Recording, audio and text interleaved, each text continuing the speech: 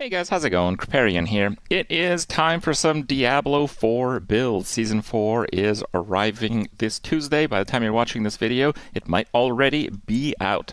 And I'm going to have a few build guides coming up today, just the day before. I wanted to get as much info so they're as accurate as possible. And today we're going to kick it off with what is likely the best boss killing build in Season 4. And I say likely because while it was the best boss killing build in the PTR.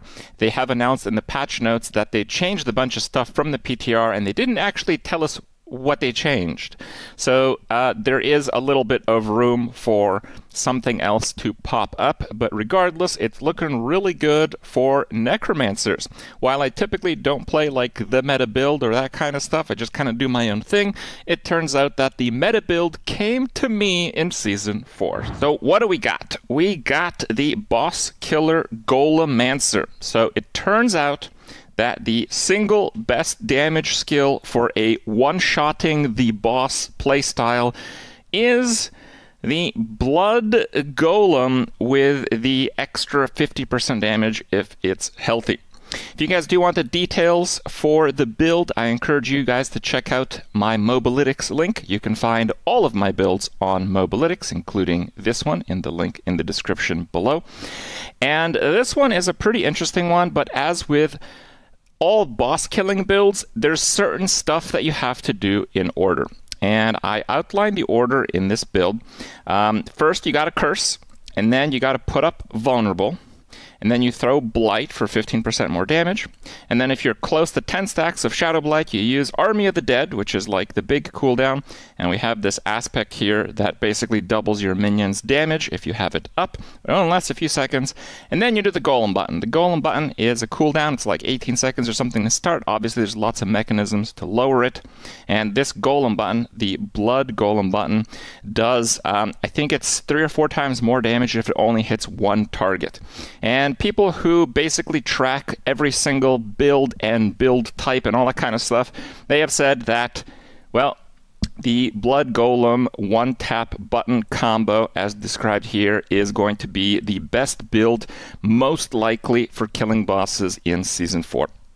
And with Diablo 4 being a game that's pretty easy to respec, well, you can just play whatever Necromancer you want and bookmark the link to the Mobalytics page or this video. Come back to it if some bosses pose a challenge or you want to kill it extra fast for some turbo farming with your group. So, what makes this build different? A lot of builds that I've seen uh, aren't really set up how I would do it, which is why I have my own version of it. Uh, namely, you will not see corpse tendrils here. I think corpse tendrils is uh, a pretty frustrating skill to use, and generally, I don't like it that much. Um, corpse tendrils, you have to actually target the corpse for it to work. If you're using a controller, corpse targeting functions use the nearest corpse, so it's a little bit better, but you have less control about where it's placed. With Season 4, we have new systems that involve uh, different types of modifications to gear. There's two main things that we need to know. Um, one, there are stats called tempering. So those are the bottom two stats on any piece of gear. And these tempering things, you can't have the same category twice. There's two different stats, but as you see here with the helmet, we have one defensive tempering, which is maximum life, which is great.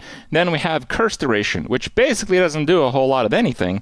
Uh, but that's because one is defensive, one is utility. You have to put utility. You actually have to put utility on most of your gear. And with some luck, the unannounced changes that will surprise us when Season 4 comes out includes better options for utility because it's basically on almost every single gear slot the way they've set it up.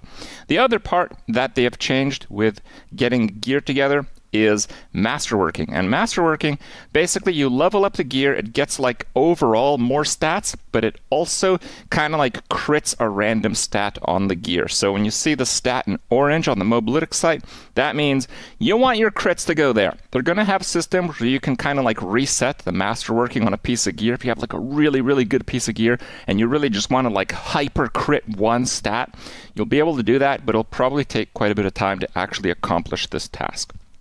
The idea is that there's actually less stats available, but this actually favors the minion necromancer because, um, well, there's not a lot of stuff that worked all that well to begin with. Also, in season 4, all modifiers that affect the players will affect the minions. There are some exceptions with the aspects, and the reason I don't use the corpse tendril aspect is because the crit damage portion of it doesn't seem to work with minions. But again, that was part of the PTR, so this might change, and if it does, I'll try my best to keep the build updated. So as you go through the items here, there are a few new aspects. Actually, the one I was looking at is a new aspect. So your Skeleton Priest also empower you at 55 to 70% effectiveness. Um, so we believe that uh, this is actually working to then again modify the damage that your minions output because it's changing the damage of your character. Um, and the the Skeleton Priest buff is not just a damage boost, but it is also a pretty enormous heal over time. So actually in this build, uh, just about all your recovery is coming from this aspect. This is very important. If you're like, hey, my guy's just dying and my life's not going up, it's probably because you don't have this on your character. It's super important. Hardened Bones, just damage reduction. The hulking aspect is going to make it so the golem cooldown is reduced and you get a few extra corpses. It doesn't look like that good of an aspect, but it's actually getting buffed on the PTR to 12% on its absolute maximum value. Uh, but it's actually a lot better than it, than it seems because golems in season 3 were made to do area of effect damage with their attacks, so you actually get quite a few procs.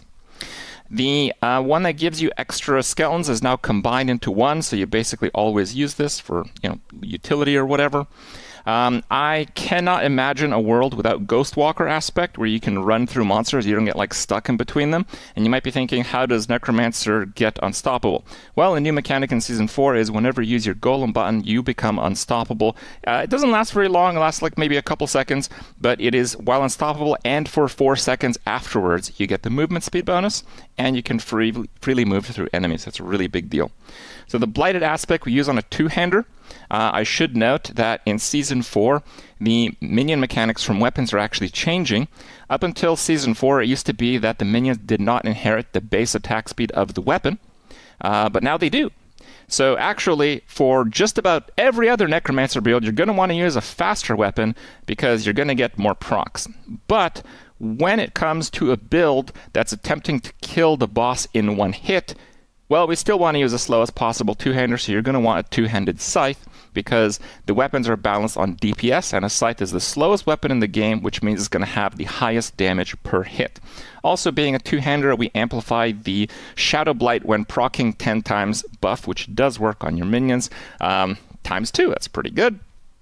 Reanimation on Amulet.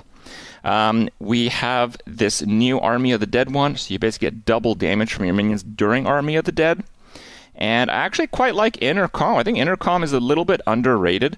Um, it's a, a, redesigned aspect for Season 4. It's 10% damage multiplier, and it's tripled if you've been standing still for 3 seconds. Now, when you're kind of clearing an area, you're not going to be standing still for more than like 1 second, but if you're setting up a kill combo for the boss, uh, you might actually be standing still for a few seconds because you're going to want to channel Decompose to get that Vuln up.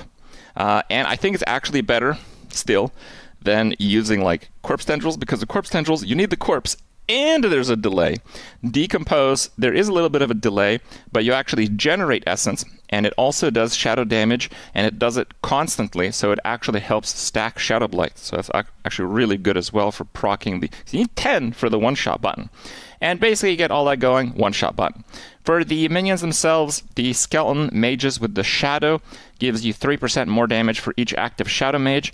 Um, it's pretty difficult to test something like this, but it appears as if this is contributing to the damage bonus of the other minions. So this seems to be working for your golem and of course for your own character and for your warriors, but your warriors don't do any damage, so that doesn't really count for anything. And we use the Reapers for their wind-up attack. This has a 10-second cooldown. Uh, it reduces one of your active cooldowns by 3 seconds. This is another reason why I don't uh, really want to use corpse tendrils, and that's because it'll be another cooldown that would be ticked by this. While if we don't have it, the only two cooldowns on the bar are going to be Golem, which is largely going to be reduced to zero by hulking aspect if you're clearing maps, and if you're on a boss, hopefully you only have to hit it once and Army of the Dead, which is a really long cooldown. So the idea is that, well, you have a whole bunch of Reapers, and every 10 seconds they reduce the uh, cooldown of your Army of the Dead, I don't know, by like, I don't know, 20 seconds or something. It's, like, I mean, it's a lot. That's pretty good. Skill setup, you guys can see that. it is uh, pretty clear cut. Uh, the only thing that is a little bit unusual, I have more healing from all sources. So because the Skeleton Priest actually heals for quite a bit, but it heals for an additional 60 of maximum life, if you get a little bit of healing effect, it just kind of heals you for all of your life when it finishes ticking. So I thought that's pretty cool. And of course, we use Shadow Blight because we want the damage. That does mean that you're going to want to get a lot of your attack speed on gear. So attack speed is really, really important on gear. And I try to get a little bit uh, of it on Paragon. It's really important because of the Cult Leader passive. So up to 100 attack speed becomes multiplier minion damage. That is a lot of damage. You're also going to notice that I did not opt for like skeleton mage stuff. I also didn't opt for like low hanging small percent damage. But that's because um, we're going to use this like golem damage tempering modifier. Uh, so we have it on rings, we have it on amulet, we have it on a two-hander, it gets double two, and I think we have it on gloves as well. So we actually have an enormous amount of percentage-based damage. So we're kind of just going through the Paragon stuff, really picking up the big stuff, which happens to be the like actual global multipliers, which are generally effects from glyphs. And Believe it or not, percent life. Percent life is really, really good once again, and that is because um, it has been, I didn't test it personally, but it has been tested that everything on your character's defenses goes to your minions. So that also means you don't need to invest that much in resists for your minions. I mean, I, I don't think I even get the thing. Yeah, they, they should be. I mean, if they're dying, you can you can get that and maybe take that out. You know, it's a little bit little bit of an unknown going into season four. But the idea is that you shouldn't need too many defensive stats on your minions if you're doing a good job stacking defenses on your character. And considering that the new kind of end game is going to be the pit, and they said that the high levels of the pit will be comparable to the high levels of Abattoir of Zir, that makes it some pretty hardcore high incoming damage stuff. So you're not going to want to ignore those defenses. I also want to point out that a lot of the videos that I've seen that utilize uh, like the one-shot macros, uh, they are characters that have absolutely no defenses whatsoever. And this is kind of a compromise. It's it's a one-shot button build that I think is going to do maybe 60 or 70% of the damage compared to if you go all out and ignore all your defenses. But I think it's actually worth it because Necro can be a pretty defensive class. So hope you guys enjoy the build. Give it a try and check it out in Mobalytics.